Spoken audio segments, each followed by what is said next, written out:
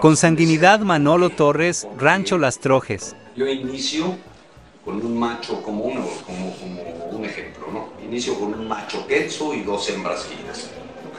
El producto de esto nos va a dar machos giros, hembras coloradas. Estoy partiendo de dos familias consanguíneas.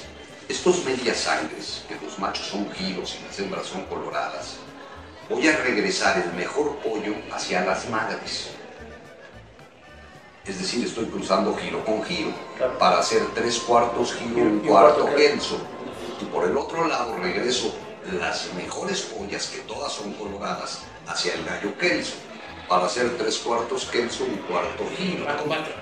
Estos para combate desde los medias sangres son excelentes. El vigor híbrido lo, lo, lo, lo manifiesta con gran presencia en media sangre, en tres cuartos y en cinco octavos.